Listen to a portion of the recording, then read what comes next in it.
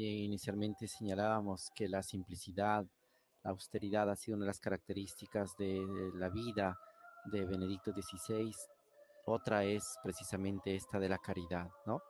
La caridad, el amor, como otro elemento importante de su pontificado, cómo lo vivió, en los, no solamente en los diferentes documentos de Euscaritas es o Caritas in Veritatis, sino también el modo de ejercer la caridad y de estar al servicio de la caridad.